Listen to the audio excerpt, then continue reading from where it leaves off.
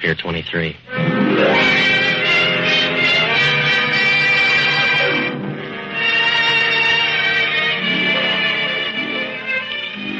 You know, the only time San Francisco really gets hot is when a tourist calls it Frisco, and then it gets warm enough to give a sleigh dog a southern accent.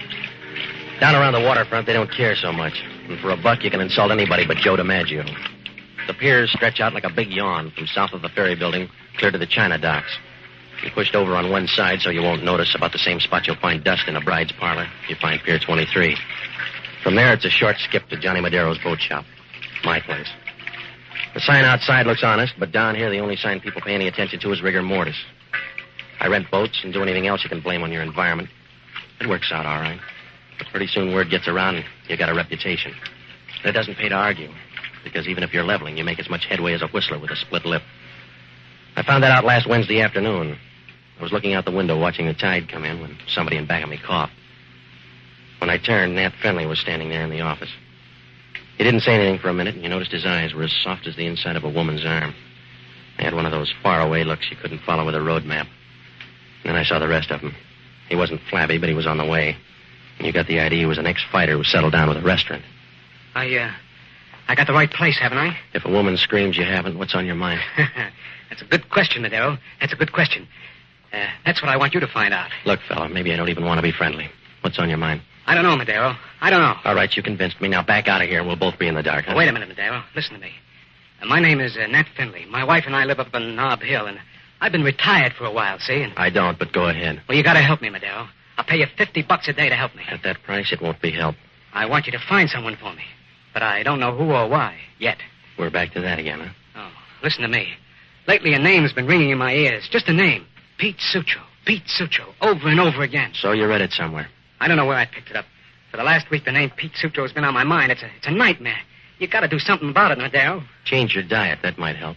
I want you to find Pete Sutro. Find out who he is, where he is, why he's bothering me. If you do, I'll, I'll give you a $200 bonus. Look, Finley, is this a job or a career? There must be a dozen Sutros from here to Jersey City. Maybe, but the Pete Sutro I want lives right here in this town. He's got to. There's a law? Listen to me, Madero. Last night, I, I kept hearing the name Sutro again. Only this time there was an address, too. It was care of General Delivery, San Francisco. So he's got to be somewhere in this town. Why don't you check the phone book? I have, and the city directory, too. But so far, I haven't been able to locate him. And I will, huh? Well, if you don't, you're still getting 50 bucks a day. What are you worried about? That 50 bucks a day? It might turn out to be a dream, too. You better throw in some advance money. Sure, Madero. I brought a check along just in case. Will a $100 cover your doubts? Yeah, if the bank can cover your check. If they can't, you don't have to do the job. That fair enough? Mm-hmm. Will you, will you start looking right away? Yeah. But you gotta be careful, Madero. My wife's never to know about this, understand? Why? Because, well, she, uh, she doesn't like the idea. She, she thinks I'm a little crazy looking for a name like this. She hates me, I think. She thinks I'm crazy. Don't worry about her, Finley, until she starts mixing your nightcaps.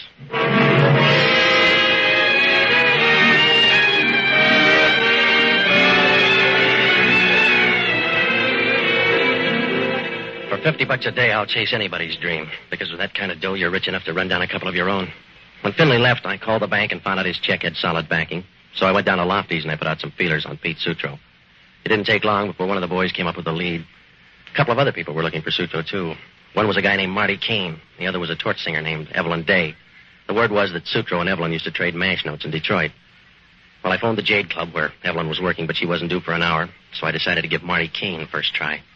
He was living in a motel out in the marina, so I went out. There was a sign outside that said modern cabins, but you knew Abe Lincoln did better in Illinois. The cabins were the size of an upper berth with enough holes to start a punch board. That didn't leave much privacy. You had more chance of keeping a secret from Mata Hari. I asked the manager where Kane's place was, and he pointed to the end cabin. I went over and knocked on the door. Kane opened it and glared. His eyes were the color of Saturday night on a week old jag, and he was so chunky you figured he'd be harder to move than an icebox through a basement window. Who are you? My name's Madero, Johnny Madero. Don't rhyme with anything. What are you looking for? A guy named Pete Sutro. I hear you got the same idea. So you got ears. I'll invite you in. Yeah, I can't turn you down. Yeah, that's what everybody says about this gun. Now sit down. You get me nervous. Put away the gun and we'll both be calm, huh? After you tell me what you know about Sutro. I'm tracking down a dream. Yours? A client's. You sound anxious. What's your pitch? A wild one. Just say he owes me some dough and I need it bad now. You got the muscles. Take in laundry. I'll put you through the wringer first. I want to lead on Sutro. Yeah, we both do, but I'm not going down on my knees. Get up, Madero.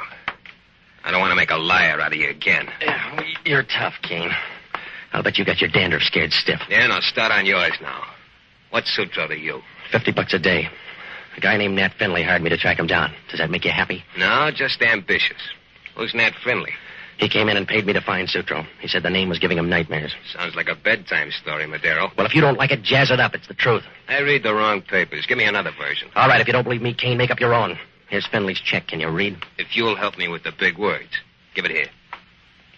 Nat Finley. Yeah, Nat Finley. You weren't lying. Looks like a good check. I'll take a chance. I'll cash it for you. It's giving you ideas, huh? Yeah, and the first one's about you. Now, here's your dough, Madero. Now get out. Get out quick. Oh, you're too good to me, Kane. Suppose the check bounces. It won't, Madero, because I ain't going to cash it.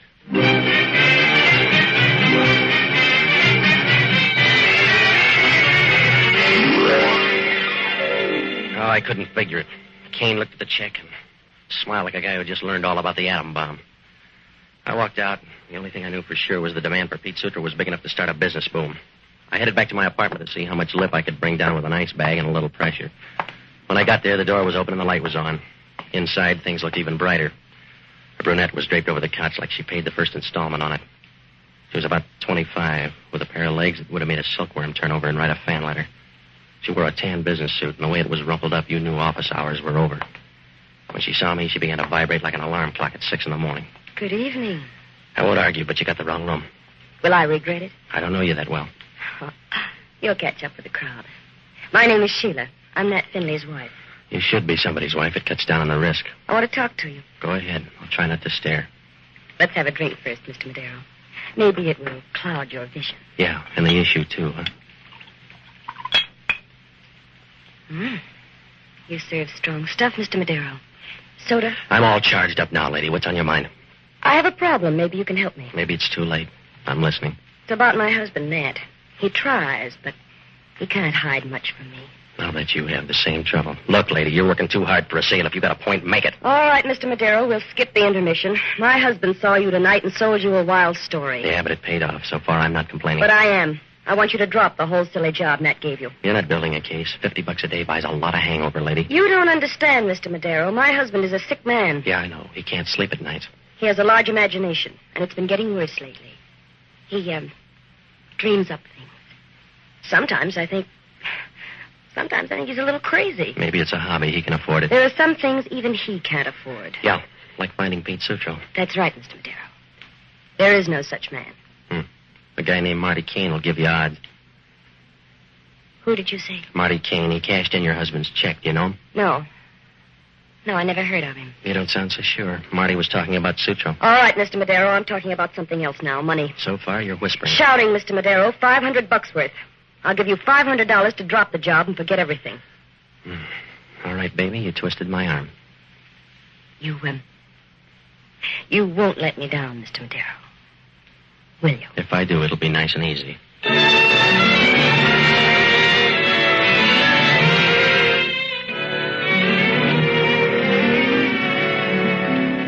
Finley had the kind of a wife you mate with a panther. She picked up her purse and peeled off 500 fish. She wasn't talking anymore, and when she swayed out, you wondered how much night practice she'd given that rumba. Well, I was all washed up with the Finleys, and it felt good already. So did the dough. I felt like a guy whose name was just picked in a chain letter. My mind was free for the better things of life. So I called up a girl out on Van Ness and told her to meet me at the Regent Bowling Alley. I got there before she did, so I started warming up the alley. A few minutes later, it got a lot warmer because Inspector Warchek of San Francisco Homicide began spoiling my game. Hello, Madero. It was a nice strike. You're in the wrong kind of alley, Warchek. What do you want? Some pointers? You got time? No. I can see how you hold a bowling ball. Now show me how you hold a gun, huh? All right, Warchek, what's on your mind? I was on Marty Kane's. A guy named Pete Sutro. He owed Kane some money. And you paid off? I paid him a visit. We had something in common. And you must have bored him to death. Kane couldn't quite stand a couple of slugs in his forehead, so he quit. Well, what do you want me to do, Warchek? Break the news to his wife? No? Just tell me about the argument you had. It was a monologue. Kane wanted to know where Sutro was hiding. I only knew one answer, so he did all the talking. Oh, you should have said please. It's not polite to interrupt a guy with a gun. Look, Warchek, what makes me the blue plate special? The motel manager, he said you go into Kane's room, and then he heard a struggle, and then later on he heard a shot. Did he hear who won the fourth? Listen, Copper, a guy named Nat Finley hired me to find out who Pete Sutro was. The name was playing tag in his brain all week, and he wanted to know why. Yeah, does that sound like a story? Check with Finley. He's the guy who made it up. What if he lets you down? And work on his wife. She's not bad looking, and she paid me to drop Finley's account. I'll check both your alibis, Madero.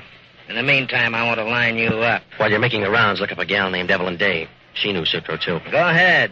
Run the police force. Tell me what to ask her. Forget it, Warchek. You're not the type.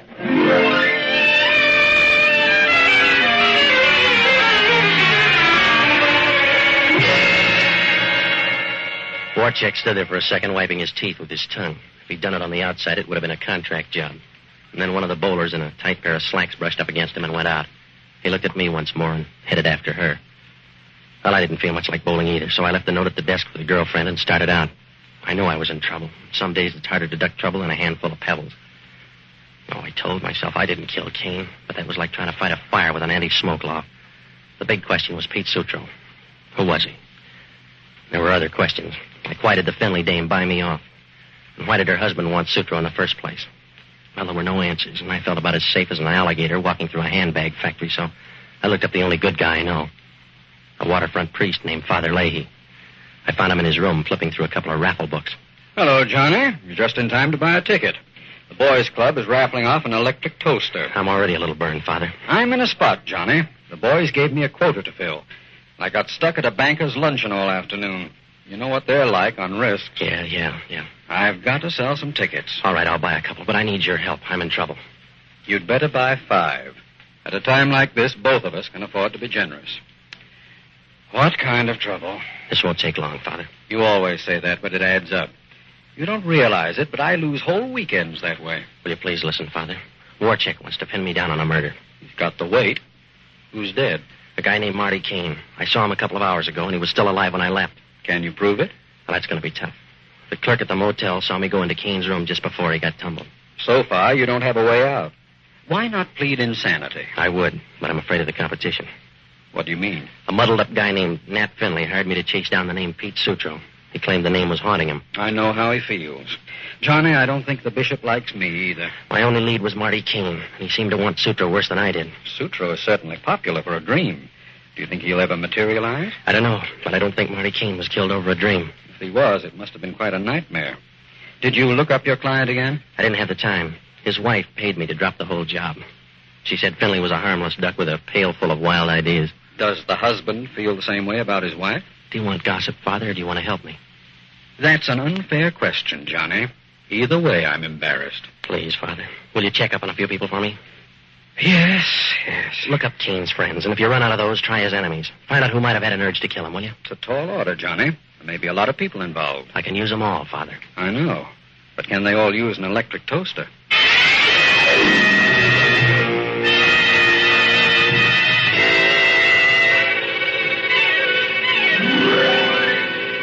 When I left Father Leahy, I knew I still had one base to tag.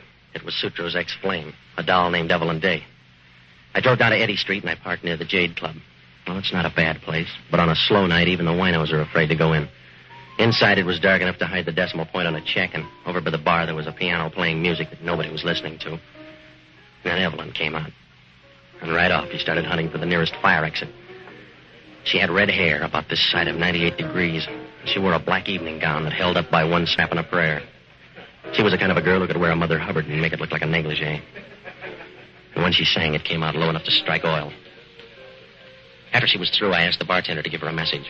She walked over to me, and she wasn't happy one way or the other. Are you the man who wanted me? One of them. You're Evelyn, huh? Yeah. What'll it lead to? A crisis if you don't sit down. All right. You've got me interested. Now, what's on your mind? That we can talk about? My name's Madero. Now let's start with a friend named Pete Sutro. Let's continue. What do you want to know about him? Where is he? Are you a cop or will you pay for the right answer? I need too many of them, baby. I'm way out ahead in the murder derby, and I'll pitch homicide anybody I can get. What do you want Sutro for? I think he shot Marty Kane. Someone should have. But you're betting on the wrong horse. You're prejudiced. Sutro was your boyfriend. That's right. He was my boyfriend. But I haven't seen him lately. All right, then. What was the last thing you did with him? I'll read my diary to you someday. Now, look, baby, you got a choice. I'm going to rough you up or let the pros do it. Let go of my armadillo. Or I'll call a bouncer. Call Sutro. Now, start talking before I bruise you up good. Slow down, Madero. You're out of my weight class. Yeah. I'll tell you what you want to know. Should I take notes, or is this going to be quick? I don't know. Depends on how sentimental I get. That's all right. I got a handkerchief. Okay, I'll tell you. I used to be Pete Sutro's girl in Detroit.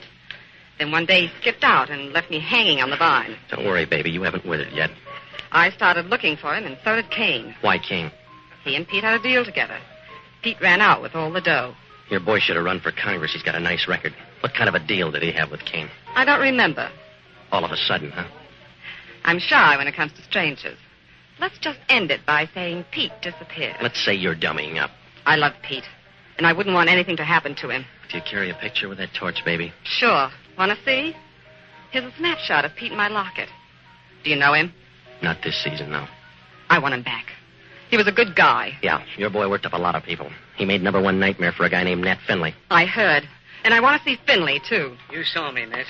But I want to talk to Madero. Hello, Finley. I got to see you alone, Madero. And I got to see you now.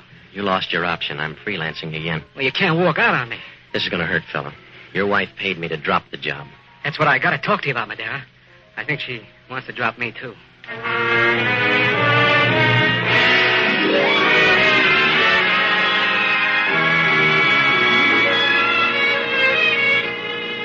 Finley grabbed me by the arm, and you could tell he was scared. His jaw was shut tighter than a wall safe, and his Adam's apple rode up and down like a yo-yo. Evelyn wanted to compare notes with him on Sutro, but right now Finley was as friendly as a no-limit poker game. He hustled me out of the Jade and into a waiting cab. He wouldn't say anything because of the driver. So he sat in one corner, rubbing his hands and looking straight ahead. When we got to the office, Finley paid the bill, and we went up the ramp. Inside, he had a little trouble getting started, like a big family leaving on a picnic. And then he got his voice. I'm in a bad spot, Madero. I need help. Have you tried classified? I'm trying you. I tell you, my wife's out to get me. She keeps telling me I'm crazy. She's trying to talk me into it. A lot of wives feel that way, Finley. She'll get over it. Yeah? But well, I'm Madero. She's trying to send me to an asylum. She and Sutro. You got enough worries to start a peace conference. What brings Sutro back into the headlines? I, uh, I found a letter in Sheila's purse.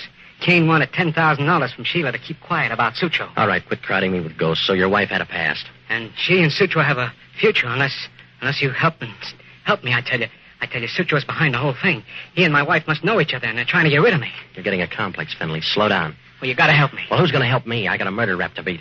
Oh, but I'll clear you, Madero. I'll clear you if you help me now. You couldn't clear your own throat in an empty tunnel. What makes you eight feet tall? This gun in my hand. Oh, stop pointing it, fella. You're too nervous to aim. Well, you don't understand it, I'm not pointing it at you. I'm giving it to you. This is the gun that killed Kane. You were there when it happened? No, but either my wife or Sutro was. When did you dream that up? An hour ago, I found it in my wife's closet. Two slugs are missing, and I, got a feeling it killed Kane. Send it to homicide. They'll let you know who did it by return mail. I can't, Madero. I can't just yet. I don't know whether Sheila or Sutro did it. I got a feeling inside. You've got to find Sutro, or he'll end up killing me yet. That's a prediction? Wait a minute. Someone's coming down the hall. Hide the gun, Madero. They're after me now. Yeah. They got the light fuse. Lay low. They're aiming for something bigger. What are you going to do, Madero? Just waiting for something to happen. Madero. Madero. I guess it happened.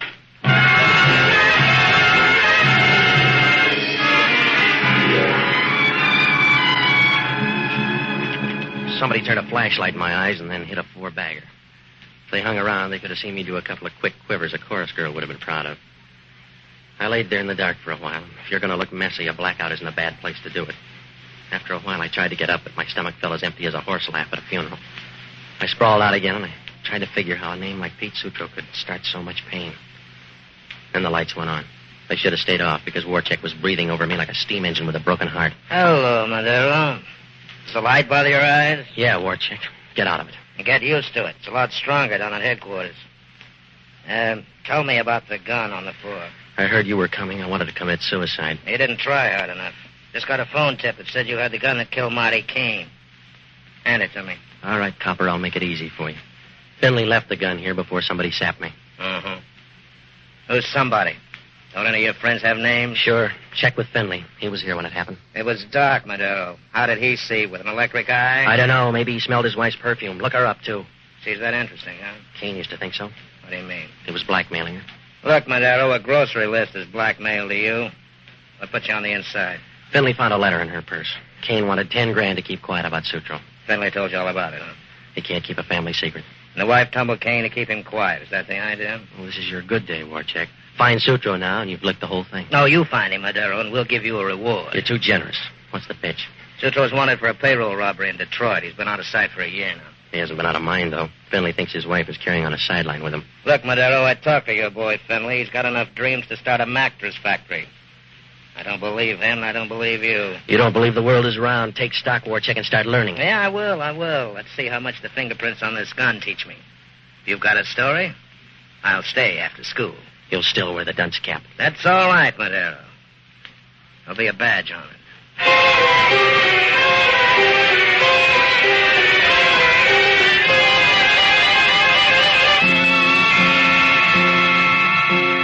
Warchek wrapped the gun up in a handkerchief, and if it killed Marty Kane, I might as well start writing letters to the governor. The gun was a plant, but I had about as much chance of selling that to Warchek as a pair of short pants to a reform school. Warchek stood there and smiled. Then he walked out. Ah, there were a lot of questions again. Like who sapped me? And did Finley really have a story? The more I thought about it, the more snarled it got. And then the phone rang. Yeah. Hello, Johnny. This is Father Leahy. Are you still free? Yeah, but I'm breathing hard. How'd you make out? Fine, Johnny. I sold ten raffle tickets. What'd you find out? Warchek just got a teletype. Sutro pulled a payroll robbery in Detroit. They think Marty Kane helped him. Well, that figures. What else? Sutro and the dough are supposed to be somewhere in town. Yeah, even the bloodhounds are worried. How does Sheila figure? She and a girl named Evelyn were both in love with Sutro. But rumor has it that Sutro's favorite was Evelyn. What about Finley? Sheila must have got tired of sharecropping, so she settled for Finley. Both came in from Detroit about a year ago. But, Father, it's still fuzzy. Marty Kane was blackmailing Sheila because of Sutro. There must be a tie. Evelyn's asking the same question, and she thinks Sheila knows the answers. She's on her way to the Finley place for a showdown. Thanks, Father. I'll tag along and grab a seat on the sidelines. It'll be a free-for-all if those two girls tangle. Don't worry, Father. They won't get in my hair. Don't be too sure. Samson had trouble with one girl.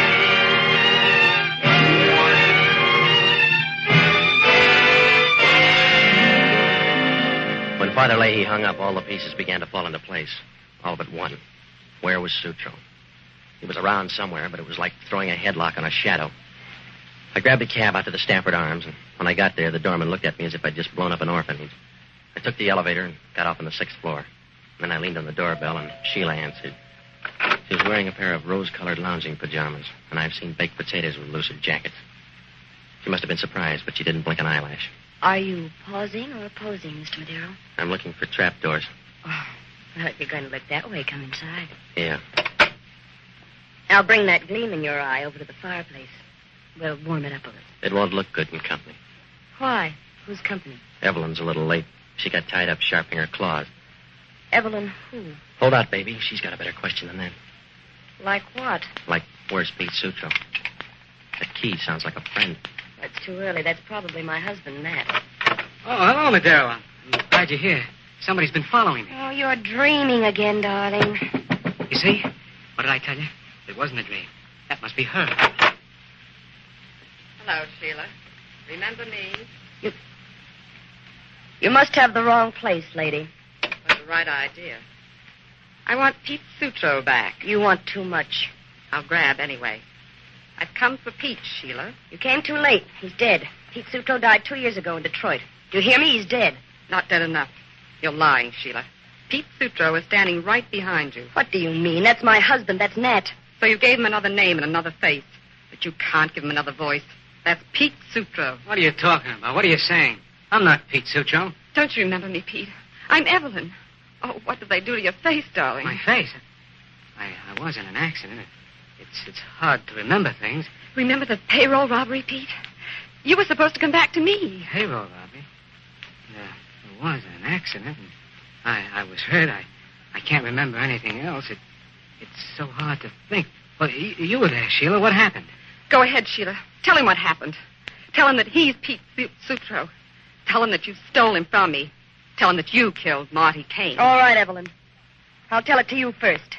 It was a good campaign, but I'm voting you down Put away now. the gun. Pete won't stand for He's it. henpecked now. What are you doing, Sheila? You'll hurt us. I'll try. You shot her. You shot. Evelyn. Pete, you remember me. She she broke us up for good. But you you remembered me. Yeah. Yeah. I remembered. Evelyn. I'm beginning to remember a lot of things now. Then forget him, Ned. Just you and me now. We're married. You, uh, you married a guy named Nat Finley. Stay away from me, Nat. Nat. Try Pete. See how it sounds. Give me the gun, baby. go. You killed Evelyn. Let go.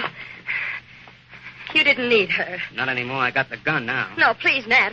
Please. Tell me it's a dream, baby. Tell me I'm crazy. You are, Nat. You are. Get out of my way. I'm getting out of here. You're not quick enough.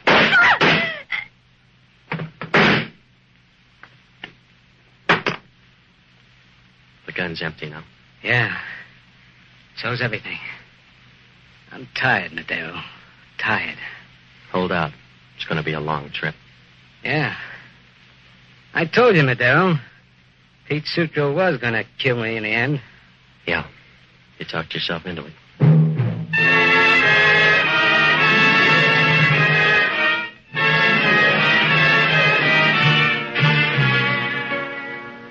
Warchek got the whole story the next morning. Seems that Sutro and Kane were in a big robbery in Detroit. The plan was for Sutro to carry all the dough and meet Kane and Evelyn at their hideout. But Sutro got smashed up in an auto accident and never made it. Sutro's face had to be remodeled, and when he lost his memory, Sheila made her pitch. She promoted a wedding and cut herself in on half the stolen cash. Changed his name to Nat Finley and brought him out to San Francisco. Kane and Evelyn got wind that Sutro had taken off for the coast, so they followed. They couldn't find him, and for a year, Sheila and Sutro got along without a hitch. Then Sutro began hearing his real name in his own mind, and before Sheila could do anything, I'd already shown her husband's check to Kane. He recognized Sutro's handwriting right away, and so he started to blackmail Sheila.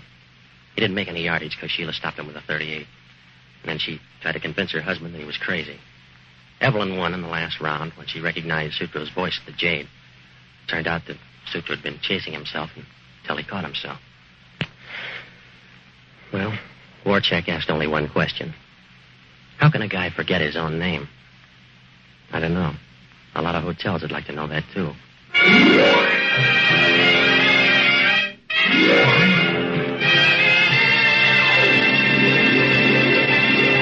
Johnny Madero, Pier 23, starring Jack Webb as Johnny Madero, has been presented by the Mutual Network. Johnny Madero is written by Herb Margolis and Lou Morheim. Gale Gordon played Father Leahy. Bill Conrad played Inspector Warchek of Homicide. John Garfield pla- played Nat Finley. Others in the cast were Gene Rogers, Joan Banks. Original music was composed and conducted by Harry Zimmerman, and the entire production was directed by Nat Wolf. Tony LaFrano. This is the Mutual Broadcasting System.